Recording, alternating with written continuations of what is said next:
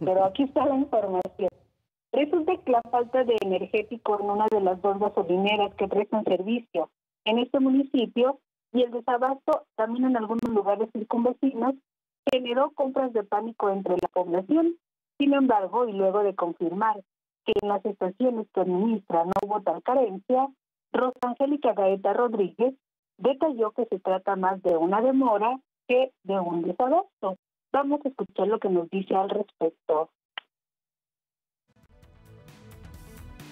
Es que están reubicando a varias localidades, no sé, a varias zonas, no sé cómo le llaman. A nosotros nos afecta mucho la distancia, tener que cruzar la ciudad. Son muchas cosas, pues, que, que hace que tarde en llegar el combustible a la estación. Entonces, si tuviéramos nada más la venta para nuestro pueblo, como es normal, no tuviéramos el, el problema. Han venido de Guadalajara, de otras partes, nos han hablado desde México para preguntar si tenemos combustible para venir.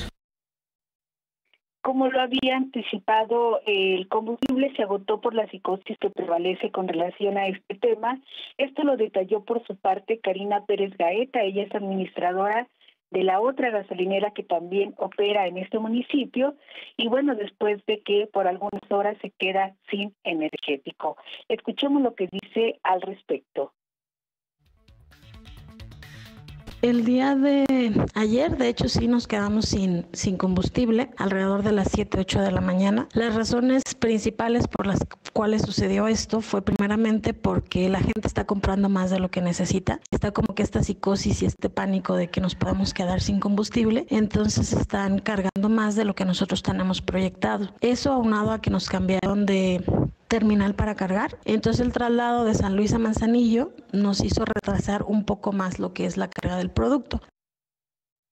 De acuerdo a las proyecciones de estas administradoras y también de continuar la venta de manera cotidiana, es decir, sin estas mentadas compras de pánico, bueno, pues en ningún establecimiento tendría que haber desabasto, dado que continúan cargando combustible, aunque las distancias ahora sean más lejanas. Este es el panorama aquí en la región norte de Jalisco, dado que estas, eh, dado perdón, que los establecimientos que hay en esta zona, bueno, pues ha, ha sido la misma dinámica, ¿no? Esta reubicación para cargar el producto y la demora que hay al momento. Este es el reporte. Te agradecemos mucho el reporte. Un abrazo, Guadalupe. Gracias. Hasta pronto.